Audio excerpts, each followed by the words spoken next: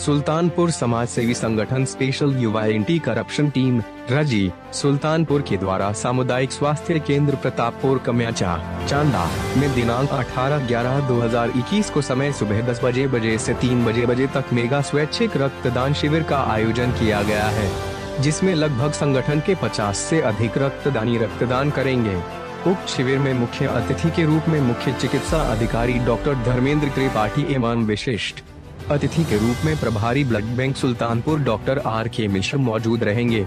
संगठन के उपाध्यक्ष विकास मिश्र ने बताया कि सुल्तानपुर में ब्लॉक स्तर पर आयोजित रक्तदान शिविर का यह विशेष आयोजन है। वहीं जिलाध्यक्ष अंकुर सिंह, मीडिया प्रभारी राजीव तिवारी एवं विधिक सलाहकार देवेंद्र पाठक ने बताया कि लोगों को रक्तदान अवश्य करना चाहिए। इससे किसी दूसरे को नया जीवन मिलेगा। वहीं संगठन के संस्थापक अध्यक्ष राम मणि तिवारी ने सभी का आभार जताया है। राजीव तिवारी की रिपोर्ट।